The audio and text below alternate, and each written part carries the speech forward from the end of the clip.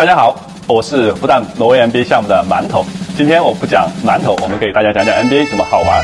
那我首先给大家讲讲 MBA 能学到什么：战略管理、组织运营管理、市场管理、人员管理、运营管理、项目管理。No No No，年轻人，年轻人，年轻人，在问题发现之前，我先告诉大家，MBA 不仅能学习以上的管理知识。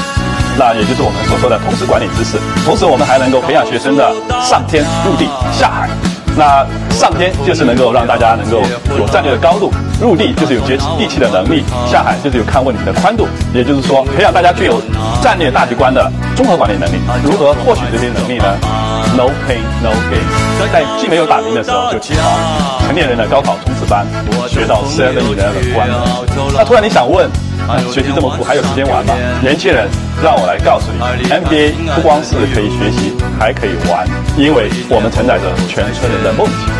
看，马德老师告诉大家一个秘诀：上一秒还是直播间的 Jack 老师，下一秒就会成为运动场上的网球小王子。相信你自己，你也能做到。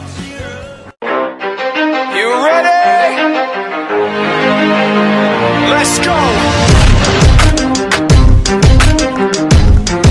Yeah.